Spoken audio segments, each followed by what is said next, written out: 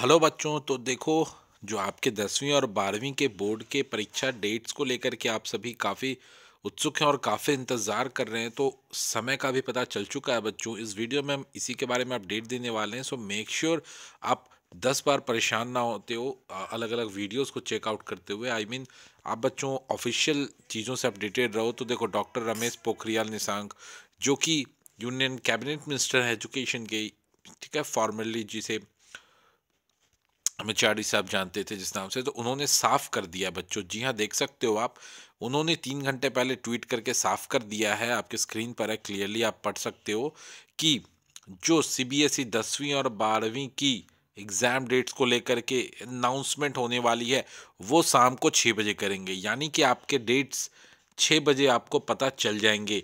दूसरी अपडेट इसी में उन्होंने बता दी थी बच्चों कि जो ऑनलाइन एग्ज़ाम्स की बात चल रही थी, वो नहीं संभव है। अभी हम ऑफलाइन एग्ज़ाम्स की ही प्रिपरेशन को लेकर के और उसके ही तैयारी कर रहे हैं बिकॉज़ अभी भी भारत में कई ऐसे इलाके हैं दुर्गम इलाके हैं जहाँ पर इंटरनेट वाईफाई लैपटॉप मोबाइल नहीं पहुँचा अच्छे से। उन स्कूलों में उसकी रीच नहीं है जिसके कारण एक बार में एग्ज़ाम कराना मास लेवल पे पॉसिबल नहीं है। सो so, एग्ज़ाम्स तो आपके ऑफलाइन ही होंगे।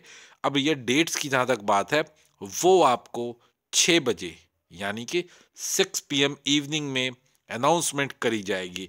तो बच्चों, आपको घबराना नहीं है और आपको कंफ्यूज नहीं होना इधर उधर की खबरों से। फैक्ट खबर दोस्तों ऑफिशियल ट्विटर हैंडल से निकल कर आ रही है तो बिल्कुल से आप इसको फॉलो कर लें एंड यहाँ से आप सारी खबर से अपडेटेड रह सकते हैं एंड मेक श्योर बच्चों, आप मेरी प्रोफ़ाइल को भी फॉलो करते हैं, अमन कुमार। यहाँ पर मैं आपके साथ सभी इंपॉर्टेंट अपडेट शेयर करता रहता हूँ। कोई भी अपडेट आता है तो आपको श्योरली बताऊँगा बच्चे। आप Aman Kumar two one zero four nine six देख सकते हो हमारी आईडी ऐप तो आप ज़रूर फॉलो कर लें बच्चों।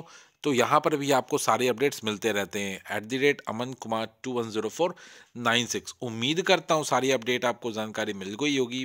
तो यार अपडेट आने पे आपको सूचित कर देंगे बच्चे कि कब आपके दसवीं, बारहवीं के बोर्ड के डेट्स निकले हैं। उम्मीद करता हूँ वीडियो पसंद आया होगा। लाइक शेयर कर सकते हो बच्चों। मिलते हैं वीडियो के नेक्स्ट पार्ट में, जहाँ पर मैं आपके लिए कुछ ना कुछ गुड न्यूज़ ज़रूर लेकर के आया रहूँगा। धन्यवाद वीडियो को देखने के लिए।